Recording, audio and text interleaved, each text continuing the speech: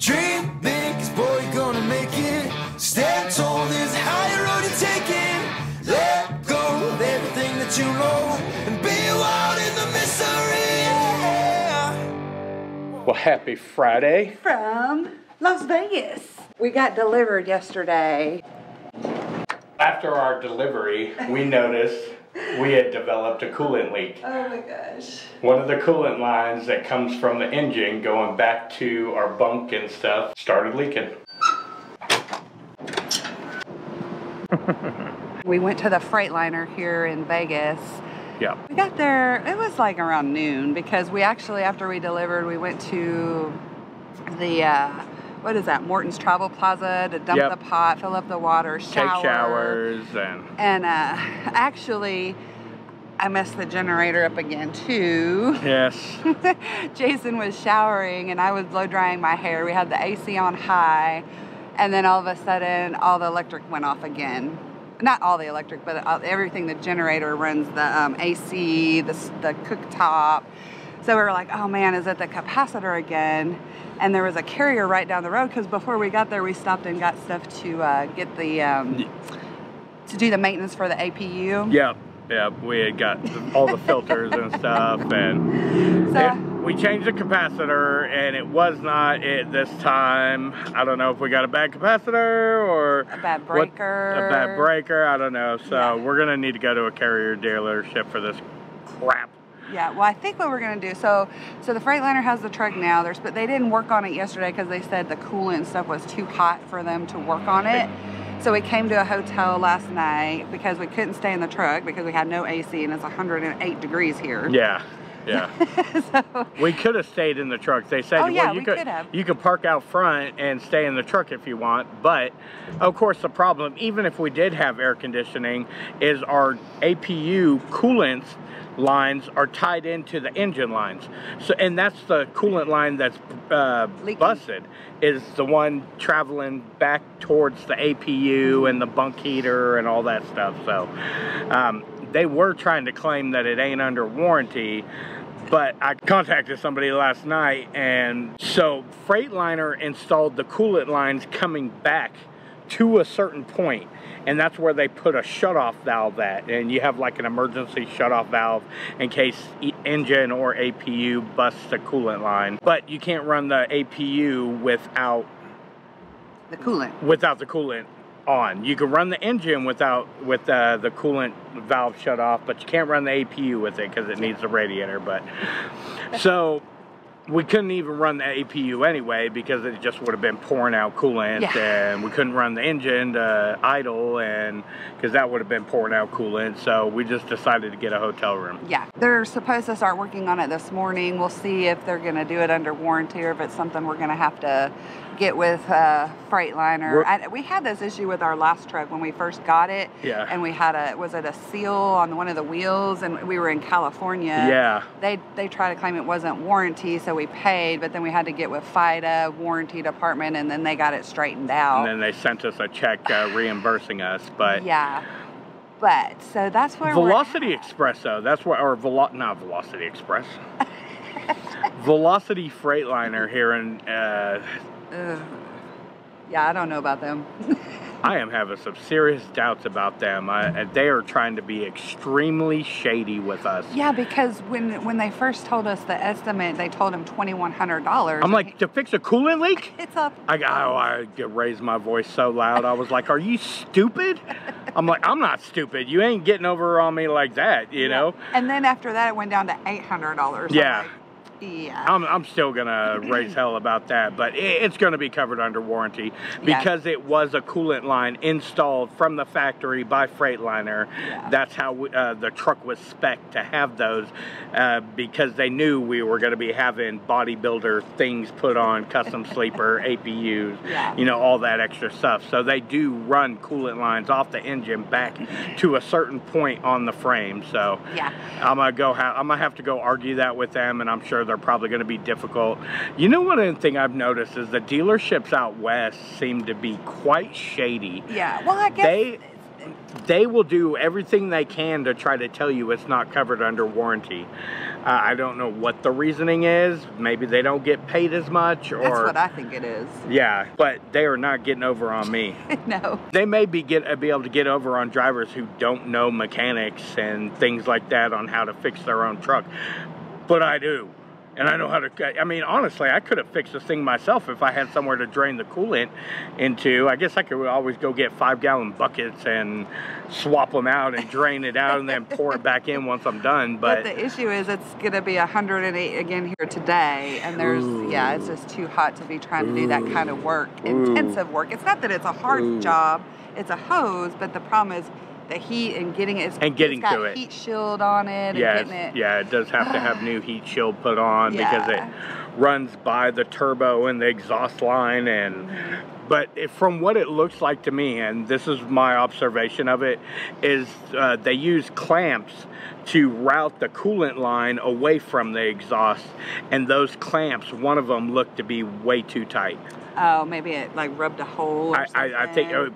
Just crimped a hole in it. Yeah, Maybe yeah. bent it the way it shouldn't have been bent, Yeah. and I, um, I told Jason it's funny because two videos ago, or last week, the one about the, the truck The being lemon, a lemon, and then this happened. I said, We we jinxed jinx ourselves. ourselves? No. Yeah, yeah. But these things happen, guys. It's just it's a nature of the of the beast, you know. Yeah. I do think we were talking last night that after the truck's done here at Freightliner, we may make a trip to Ohio. yeah, I think we're gonna go. to There's- go to the place that did actual install on the APU Yep. because there obviously there's an issue. If the capacitor, I don't think it's that now. I think it's another issue because the breaker's not tripping. When yesterday Why when I was blow the breaker drying, tripping? it The- should have tripped the breaker. It should have tripped the breaker, not blown everything. Yeah, so and now we, don't know what it is. So. There's something wrong, and Plus, they need to rewire where they wired it wrong into the, Into the- breaker box inside. yep, so yep, yep. we're really debating on just go ahead and biting the bullet and drive into Ohio to get that stuff done. I, I don't know if you remember, f-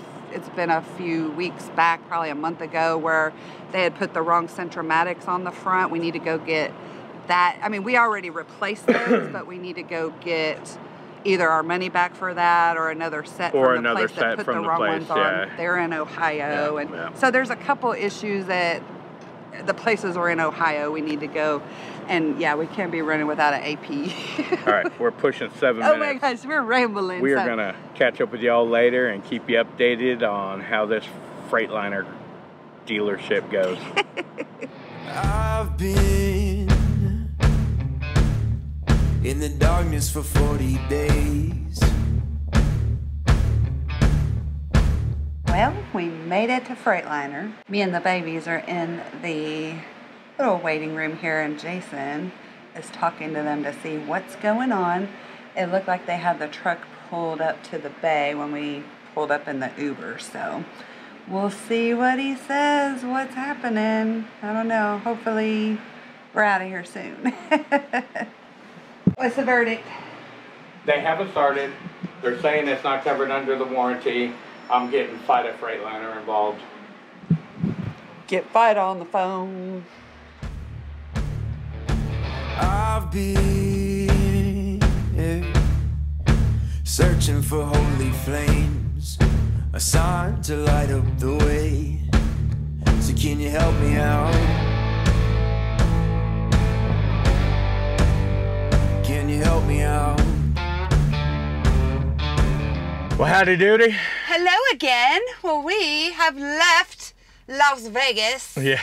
with a fixed truck. yeah, it is all fixed and no more coolant leak and No, that Velocity Freightliner, Jason was so mad with them. absolutely livid. Their the worst part is their communication. Yeah. Their communication was absolutely horrid. We all understand that trucks truck dealers, you know, they're hard to get into. I, I do give them props. They got us in. They did get us in yesterday. Didn't And get they- it fixed yesterday, but they got it in. to They did get it. us in. I give them that. But their communication throughout the whole process was just horrible. And they're trying to say it wasn't covered under warranty because it wasn't a Freightliner issue. The issue was when they put the body on, or the I guess the sleeper or the APU, one of them, Yeah. that they stretched a hose, or no, they were saying that hose wasn't even there from Freightliner. They put a new hose, or Yeah, they're saying whoever installed either the sleeper or the the APU is the one that installed that hose, and the way they installed it, it was rubbing up against the the like some sharp piece of metal. Mm-hmm. It was rubbing up against it, and that's what happened. Just. Yeah. over time, rubbing up against it, it caused it to cut a hole in it. So, stuff happens, like we say. You know, we're not mad that it happened. Stuff happens. but good. I, I was just gonna say, so we did end up having to pay like six hundred and twenty-seven dollars, but before they started on it, we did call Fyda Freightliner, spoke to Neil. We appreciate him so much. They're covering it. They're gonna reimburse us the money. And he's gonna go. He's gonna find out who he needs to go Yeah, get they're it gonna from. get it from somebody whoever- made a yeah, mistake. yeah. If that somebody made a mistake, we should not have to pay for it. Um, whoever installed that hose, there is a warranty. Mm-hmm. Yeah, uh, AA comes with a one-year unlimited mile. Um, the Comfort Pro comes with a a warranty. Everything's under warranty still. Yes. So, but it was a matter of tracking down who Who was needs to pay responsible for it. Right, right. And I didn't even have that problem with uh, velocity. Yeah. That was not a issue at all. My big issue was their communication. Yeah. Um, just the way they handled it, treated us. Anytime I asked questions, I was bothering them. I was, you know, it was it was horrible. yeah, horrible experience with Horrible. them as far as that's concerned. And this is our second time at a Freightliner this week. We were at Middle Georgia Freightliner last oh, week. Oh man, they were oh my gosh, like 10 stars for them. Yeah, Velocity with no star. One No. star for getting us in and looking at it yesterday, Yeah, but the it. rest no. Yeah, that's it. I mean, it, that's just, you know, some dealers are great, some aren't. I mean, some shops are great, some aren't. I, Yeah, you know. yeah. But again, I we And- cannot Sorry. Sorry, I cut, I'm cutting you I'm off. cutting Sorry. you off. I'm cutting you off. I just wanted to say again a big thanks to Neil at Fyda Freightliner because he didn't have to huge do that and Yeah. I why mean, we why we keep going back that's there. the customer service that they give to their the people that purchase trucks there and i just think and are they awesome. perfect? No. you nobody's know. none of them are None perfect of them are perfect, but, for- communication will make you perfect in my book. yeah absolutely Communication is key. i just because he didn't have to do that he he did not have to you know cover it or whatever i mean technically it is covered it's just yeah, you know, golly, we we had this issue with our last truck too. we did. we when we first maybe I already said When we this first bought it, yeah, I when think we- I might have already said that. But Yeah, wheel seal went out, and, and we we didn't even have but like twenty thousand miles on it. it wasn't even that much. no, it was, it was. and uh, we had to. They took care of that too. You know that Fyda that Freightliner. that that Well- shop charged us, and we called Fyda. and Fyda got it, got in, like worked it out for us, and they Yeah. the dealer that in California that made us that pay for it ended up sending us a check. Yeah, yeah. So, So, I mean, gosh, This is the second time yeah, for Fyda's So grateful for that. came through. Yeah, yeah, absolutely. But we are in Utah. Utah, actually, because Yep. we did decide that we're just going to go ahead and deadhead to Ohio. Because we still don't have air conditioning We- yeah. in the sleeper, We got to get the generator issue fixed. They're Something's- fixing that. Something's up with that, and they're fixing that. Somebody's just- fixing it. Yeah, something that we can't figure out. So Yeah, yeah, yeah. we're we're gonna head there. Yeah. It's it's two thousand miles, but it's got to be fixed. And we're gonna go do something pretty cool and exciting. I think. Yeah, yeah, y'all will find Maybe- out about it. Yeah, all, yeah, uh, about yeah. it. Maybe in this vlog, maybe the next vlog. Who Yeah, knows? yeah. But we're gonna let these babies out and go potty and knock out some miles. We'll probably stop somewhere tonight. We're on the. We're gonna be going the 70. what a beautiful drive. A beautiful drive. Love it. It's already getting No. GoPro footage. No, we're using All the big camera. All the good cameras on this one. yeah, yeah. So. All right. All right. Well, let's let these guys out. We'll check up with you guys later along the trip. I've been more certain of truth